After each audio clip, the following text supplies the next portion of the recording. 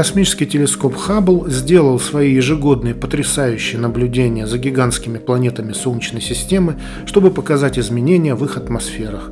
Снимки внешних планет показывают как экстремальные, так и тонкие изменения, быстро происходящие на этих далеких мирах.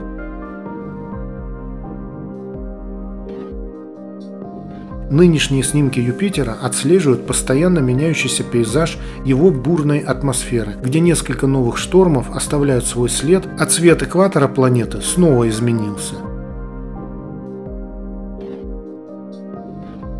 Новый взгляд Хаббла на Сатурн, сделанный 7 сентября 2021 года, показывает быстрые экстремальные изменения цвета полос в северном полушарии планеты.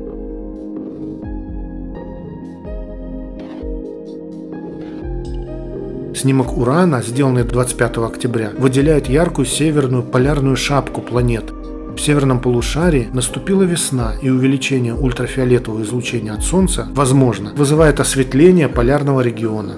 Наблюдения, сделанные 7 сентября 2021 года, подчеркивают потемнение северного полушария Нептуна и темное пятно на планете, которое, как недавно было обнаружено, изменило курс движения к экватору и все еще видно на этом снимке. Эти новые изображения Хаббла являются частью ежегодных карт всех планет, созданных в рамках программы «Наследие атмосфер внешних планет». Программа предоставляет ежегодные глобальные обзоры внешних планет с помощью Хаббла, чтобы наблюдать за изменениями в их штормах, ветрах и облаках.